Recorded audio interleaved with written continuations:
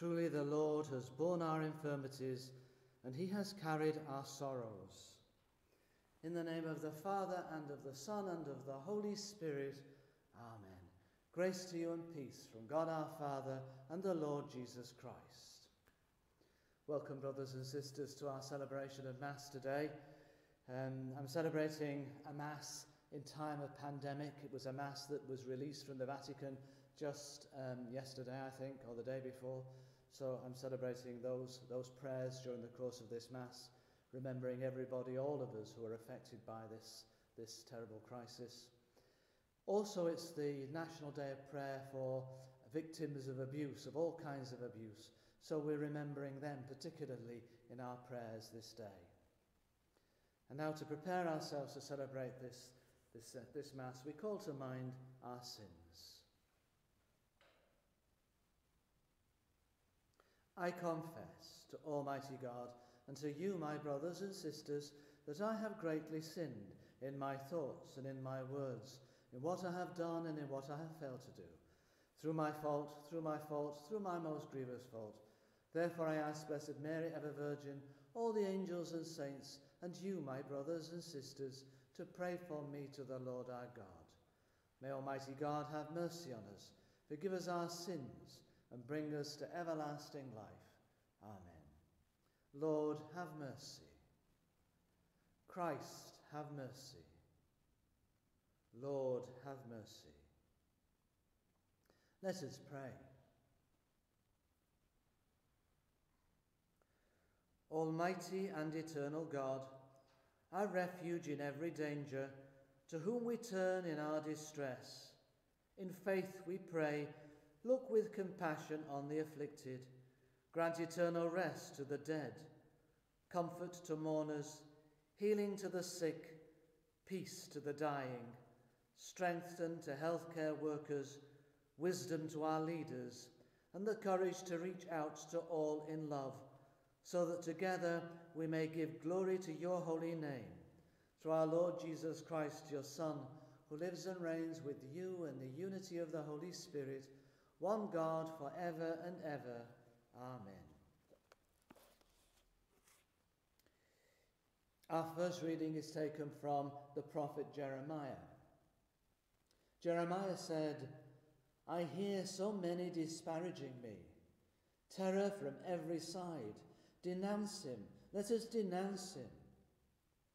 All those who used to be my friends watched for my downfall. Perhaps he will be seduced into error. Then we will master him and take our revenge. But the Lord is at my side, a mighty hero. My opponents will stumble, mastered, confounded by their failure. Everlasting, unforgettable disgrace will be theirs. But you, Lord of hosts, you who probe with justice, who scrutinize the loins and heart, let me see the vengeance you will take on them, for I have committed my cause to you. Sing to the Lord, praise the Lord, for he has delivered the soul of the needy from the hands of evil men. The word of the Lord. In my distress, I called upon the Lord, and he heard my voice. In my distress, I called upon the Lord, and he heard my voice. I love you, Lord, my strength, my rock, my fortress, my Saviour. My God is the rock where I take refuge, my shield, my mighty help, my stronghold. The Lord is worthy of all praise. When I call, I am saved from my foes. In my distress, I called upon the Lord, and he heard my voice. The waves of death rose about me. The torrents of destruction assailed me. The snares of the grave entangled me. The traps of death confound, confronted me. In my distress, I called upon the Lord, and he heard my voice. In my anguish, I called to the Lord. I cried to my God for help. From his temple, he heard my voice. My cry came to his ears. In my distress, I called to the Lord, and he heard my voice.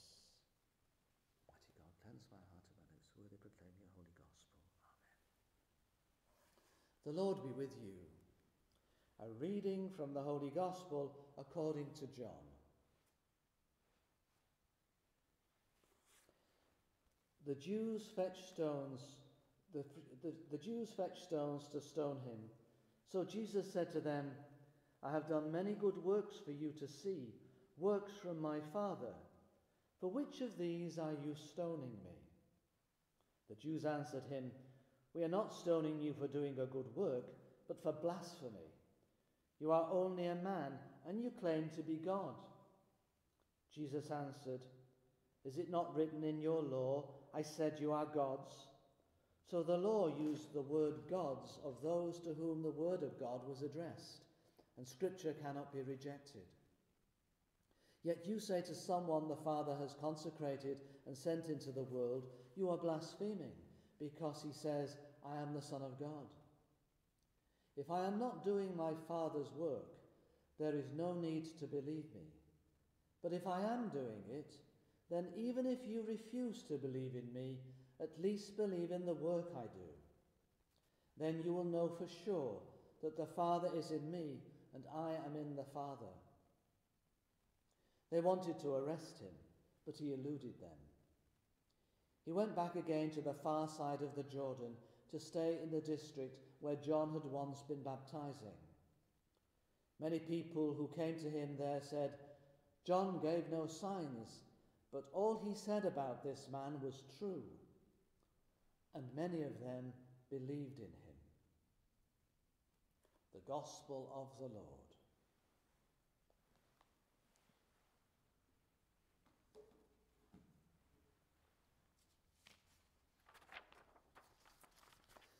Just a few thoughts on today's very powerful readings. Most of us at um, one time or another have been guilty of talking about others behind their backs. The reasons are many. We may not want to embarrass them by confronting them. So instead of telling them about it so that they can remedy the situation, we whisper to others who spread it even further. At times we repeat rumours in a whisper because we're not sure of the degree of truth behind them. Instead of asking the person involved about the truth of the matter, we keep the gossip mill grinding away. And of course, the story grows more as it spreads further and further. Also, passing on secret information can be a way of getting even with someone. Two friends had a falling out. One tells his or her side of the story and purposely leaves out half the truth. The one who hears the story is naturally inclined to take the side of the storyteller and think critically of the other. Honest people can be the object of whispering at times because they always tell the truth, even when it's inopportune or not advantageous they are frequently disliked by others. Others wait for an opportunity to entrap them in a momentary lapse of character. That way, they don't look too bad themselves. All of, all of us have chinks in our armour when it's pierced. Whispers, rumours, talking about others behind their backs can lead those talked about to the brink of despair.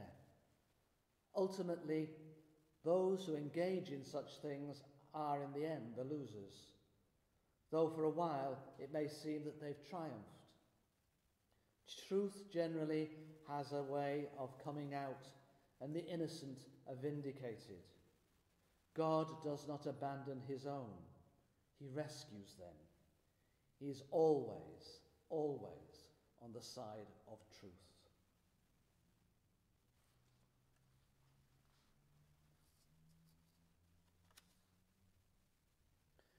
And now let's turn to the Lord in prayer as we remember all those victim survivors of abuse, abuse of all kinds, but particularly in my heart it's clerical abuse today, and I want to ask the Lord to, to comfort those who are victims and to bring to justice those who have perpetrated and to heal the wounds in the whole of the church. Praise to you, Father of our Lord Jesus Christ, the source of all consolation and hope. Be the refuge and guardian of all who suffer from abuse and violence. Comfort them and send healing for their wounds of the body, soul, and spirit. Help us all and make us one with you in your love for justice as we deepen our respect for the dignity of every human life. Giver of peace, make us one in celebrating your praise both now and forever. We ask this through Christ our Lord. Amen. In my anguish, I called to the Lord and he heard my voice. Father of true justice, creator of all that is good, we come before you to acknowledge the many times when the voices of those most in need and most vulnerable in your sight were not listened to, were not heard. On this day of Lent, when we follow your Son in his hour of need, we seek repentance for the members of our church who committed crimes and those who did not use their proper influence to respond adequately in the face of evil. We pray for every victim survivor of abuse, the cross they carry through life, and the need to be believed. Give to your church an urgent understanding of the need for a compassionate response, so that the little ones whom Christ called to his side may always find safety in the life of his church. And we ask this through Christ our Lord.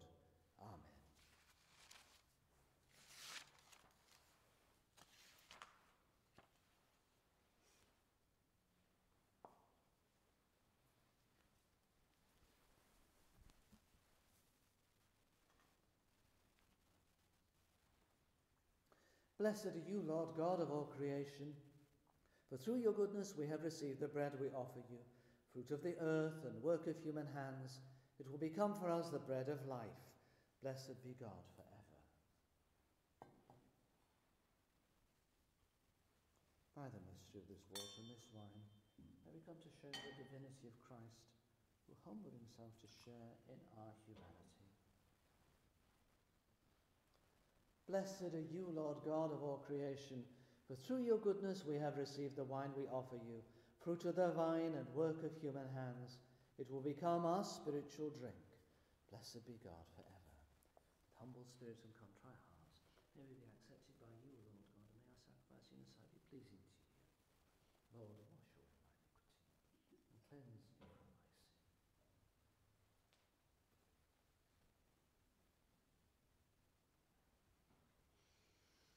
Pray, brothers and sisters, that my sacrifice and yours may be acceptable to God, the Almighty Father. May the Lord accept the sacrifice at your hands for the praise and glory of his name, for our good and the good of all his holy church.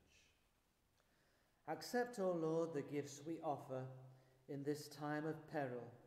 May they become for us, by your power, a source of healing and peace.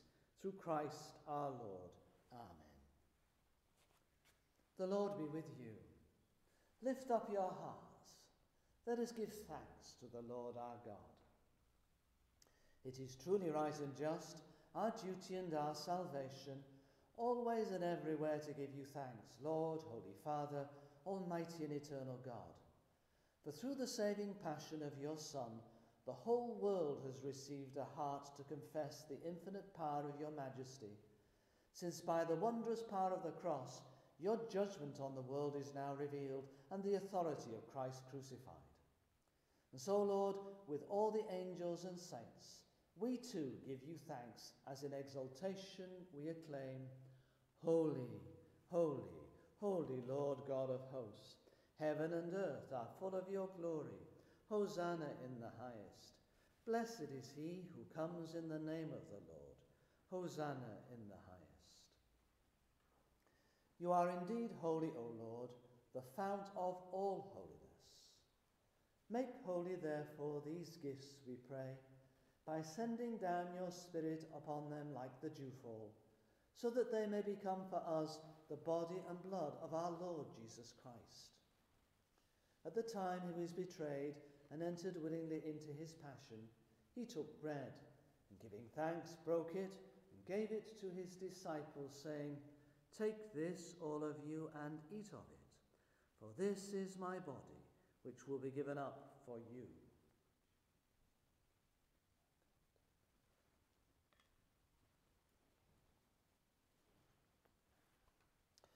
In a similar way, when supper was ended, he took the chalice. And once more giving thanks, he gave it to his disciples, saying, Take this, all of you, and drink from it. For this is the chalice of my blood, the blood of the new and eternal covenant, which will be poured out for you and for many for the forgiveness of sins. Do this in memory of me.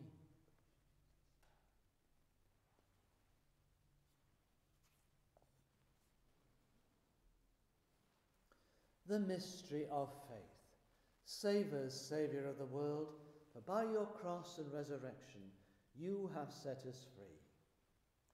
Therefore, as we celebrate the memorial of his death and resurrection, we offer you, Lord, the bread of life and the chalice of salvation, giving thanks that you have held us worthy to be in your presence and minister to you.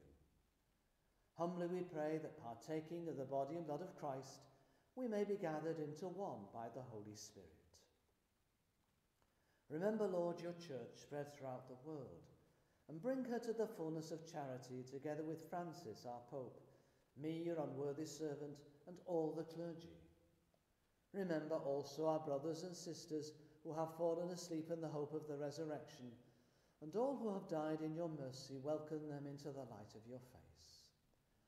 Have mercy on us all, we pray, that with the Blessed Virgin Mary, Mother of God, with blessed Joseph, her spouse, with the blessed apostles and all the saints who have pleased you throughout the ages, we may merit to be co heirs to eternal life and may praise and glorify you through your Son, Jesus Christ. through him and with him and in him, O God Almighty Father, in the unity of the Holy Spirit, all glory and honour is yours for ever and ever. Amen.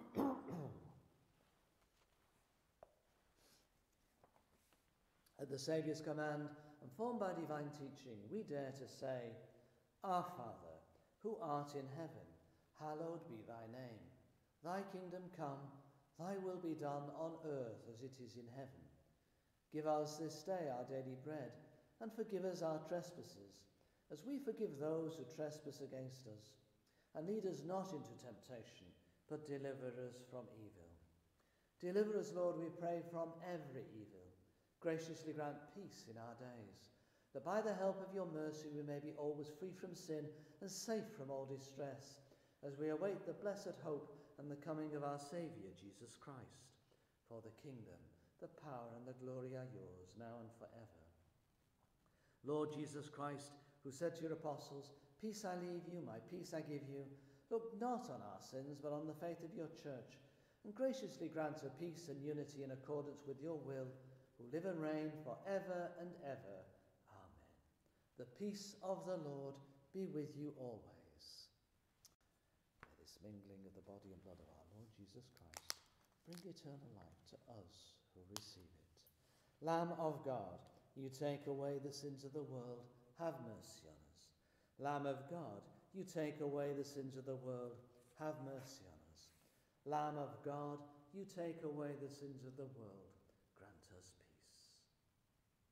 Lord Jesus Christ, Son of the living God, who by the will of the Father and the work of the Holy Spirit through your death gave light to the world, free me by this your most holy body and blood from all my sins and from every evil. Keep me always faithful to your promises and never let me be parted from you.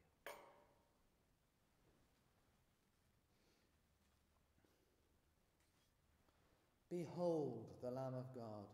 Behold him who takes away the sins of the world. Blessed are those called to the supper of the Lamb. Lord, I am not worthy that you should enter under my roof, but only say the word, and my soul shall be healed.